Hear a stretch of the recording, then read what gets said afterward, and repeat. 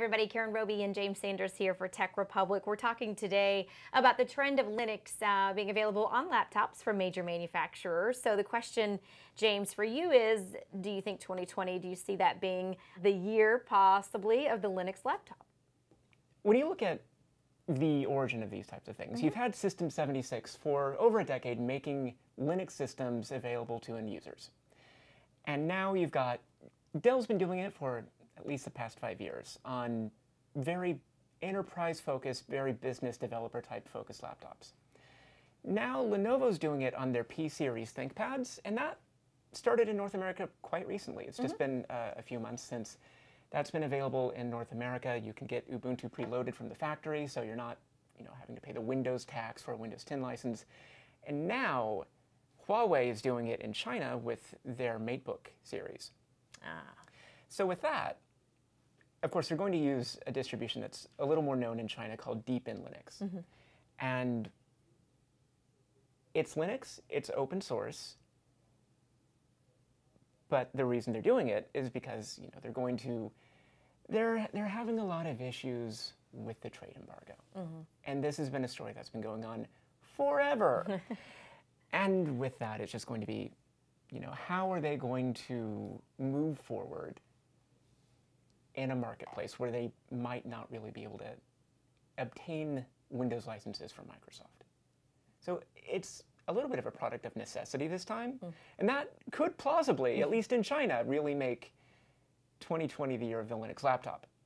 But there's always there's always a but in there, right? Right. right. So with this, there is you know actual benefit. Mm -hmm.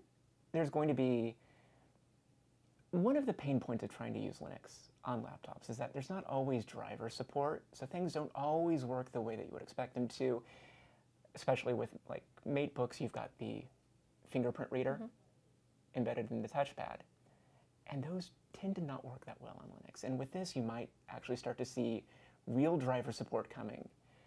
So it should be you know, platform agnostic. Like these things should work across any Linux distribution as long as that code is um, mainlined into the kernel, or if individual distributions just ship that extra binary, extra driver.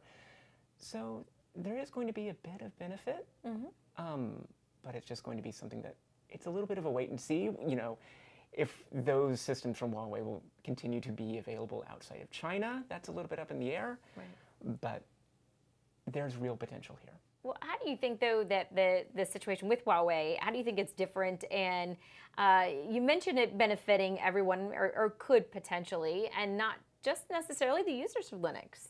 The way that a lot of hardware drivers are made mm -hmm.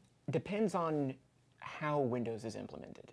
And the way that Windows handles things is not always actually too standard, but when Windows is the standard, driver writers just write for Linux. So there's things in A ACPI that don't quite match up to how standard is written. Uh, you see that a little bit with Wi-Fi drivers.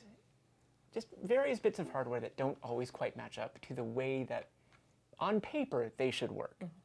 And that causes a lot of frustration for people trying to reverse engineer drivers on Linux that don't really have the original documentation from the manufacturer about how this is actually designed. It's very well-informed guesswork, basically. And if things are a little more too standard, that's going to make hardware support work better. And when you have things written to standard, you should really have situations where you know, every six months there's a new version of Windows 10 and things break. Mm -hmm. And if we can get more to standard, we can see a bit of a reduction in that type of breakage whenever there's a new version of Windows. All right. Well, if you want to learn more uh, about James's story, make sure you check out TechRepublic. Thanks so much for watching.